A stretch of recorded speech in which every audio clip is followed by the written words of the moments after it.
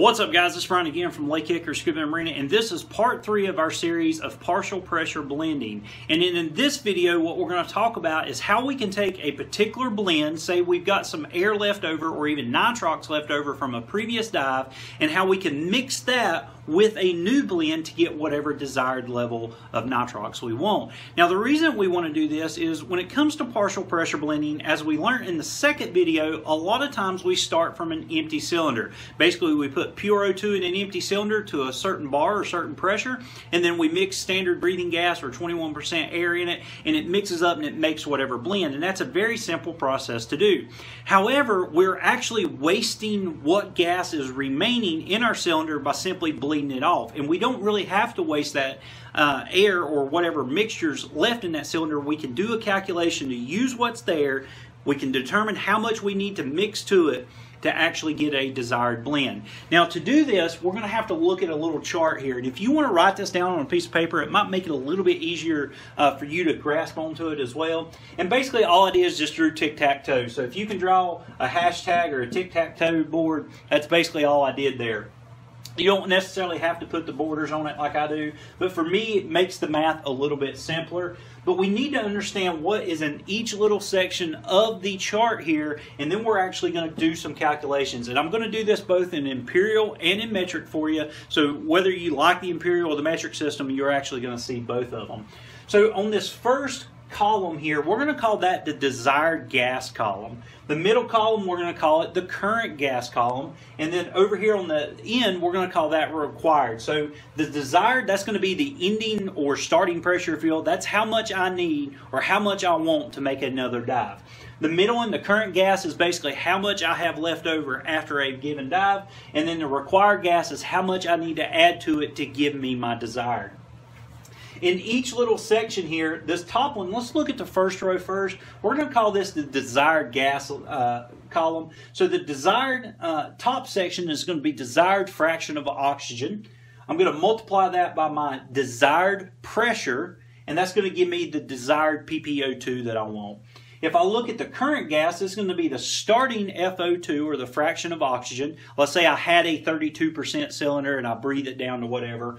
And then, of course, starting pressure, how much I'm starting with before the blending process. I'll multiply those two together. That's going to give my, my starting uh, partial pressure of O2 as well. And then if I look at the required gas column, it's going to be the required gas of O2 is what I'm going to end with. But you'll notice this one's kind of flipped. So I'm going to start down here at the bottom. It's the required partial pressure of O2 that I need to get to my desired level. The required pressure that I got to add into the cylinder to get to my required level, if you will. And then, of course, the required O2 for that particular blend. So, and we, to go this way, I'm actually going to take the required PPO2 divide it by the required pressure, and then get my required O2. Now there's some other arithmetic here as well. You'll notice I have these two subtraction marks here, and that's because to get these two numbers, I'm going to have to uh, subtract it out to get it. And you'll see when we fill in the block what I mean by that. Once again, we're going to do this both in imperial and metric. And if you want to follow along, get you a piece of paper and a pencil and also get you a calculator as well and it'll make doing the math a lot easier. Now one thing that i will say on a calculator if we get a particular number that can be rounded up we're going to round up just to make it easier on us. And we're only going to be using uh, basically one or two decimal points over. So if I say 40%, instead of saying 0.40, I'd just say 0.4. If I had a, say a 0.139, I'm going to round that up to a 0.14. So just, just so that you can follow along with me. But let's let's start filling in a block here with a particular blend that we currently have, and we'll see how we can convert it or up it or even lower it to a, a blend that we want. So let's say that my starting FO2, I've got a cylinder that has 32% in it, and I just finished that dive and I still got 972 psi in the cylinder. Okay, so at this point, I can go ahead and do some of the math out here. I can take 32%, 0.32, I'm going to times it by 972 or 972 psi, and that's going to come up to 311 and 04. I'm just going to say 311 psi. So out of that cylinder of 32% um, nitrox, that has 972 psi, 311 psi of it is the 32% partial pressure of O2. That's pretty easy to understand. Well, let's say that I want to boost that cylinder to 36%. So I'm just going to go to my desired FO2 and write in 36%. Real simple, right? And I know that that cylinder is going to hold 3,000 psi, which is what I want to, or that's my desired pressure. So I'm going to go ahead and write 3,000 psi here.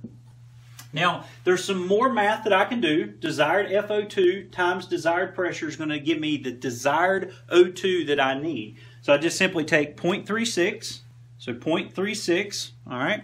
I'm going to times that by 3,000. That's going to give me 1,080 psi. Right? Now, from here to get over to the required gas that simply puts how much O2 or how much gas I got to put into the cylinder, I can simply do the subtraction of these two rows here. So I'm going to take my desired PPO2 minus my starting, and that's going to tell me how much pressure I got to add to the cylinder. So I'm going to take 1080, I'm going to minus the 311 from it, and you can see that it comes up to 769 psi. All right.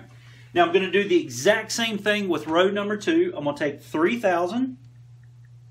I'm going to minus 972 psi from it. That tells me 2028. Now the last thing I need to know is the required O2 to put into that mix. And to do that, I simply take 769, following the arithmetic here. I take 769 I divide that out by the 2028, so 2028, and that's going to come up to 0.379. We're going to simply call that 0.38 or 38%. So in short, if I had a 32% blend and I wanted to make it a 36% blend, I'm going to have to add 38% nitrox to my cylinder. Or more importantly, if I had 972 psi, and I wanted to add 3,000 or I wanted to make it 3,000 psi, obviously I got to add 2,028 psi to it. And then if we look at the mixture of oxygen or partial pressure, let's say that in a cylinder that had 32% at 972 psi, that means 311 uh, psi of it is the O2. I would have to add 1,080 psi to it. All right to get the desired 769 psi needed for that blend to get it to my 36%. So, guys, Figuring this out is very easy. Once again, we do this to conserve the air that we still have or the blend that we still have. We don't have to take the time to drain a cylinder all the way down to start the partial pressure blending process. We can simply work out the math and we can do it very easily without wasting any gas in our cylinder. Now, I did promise you that we're going to do it in the metric system as well. So let me simply erase some of the numbers here. And all that we're going to do is simply change it out from PSI to bar. So I'm going to leave those top numbers there because I'm going to actually start with 32% and I want to get my desired mix at the 36%. So obviously we know that 38, and I'm going to actually erase that too just to show you the math behind it. We need to know how much uh, partial pressure to put in there as well. So let's say I start with a cylinder that's 32% nitrox and it currently has 67 bar in it. And I want to to end after the partial pressure uh, blending process, I want to end with a 36% blend, and of course, I want 200 bar in my cylinder. So I can do the exact same math that I did before uh, simply by using a calculator here. Um, all you're going to do is take 0.36, 0.36, you're going to times it by 200. It's going to give you 72 bar. You're going to take 0.32, you're going to times it by 67. That gives you 21.44. Now we need to do our subtraction. We're going to take 72. We're going to minus the 21.44. That's going to come up to 50.6. We're just going to simply, or 50.56. We're going to round that up to 50.6. We do the same thing here. We're going to take 200. We're going to minus 67 from it. We're going to get 133. And then we can do our division to see what the blend is or what the blend needs to be to make that particular desired. So we take 50.6 divided out by 133 and it tells me there's my 38% as well exact same number we came up in with the imperial system.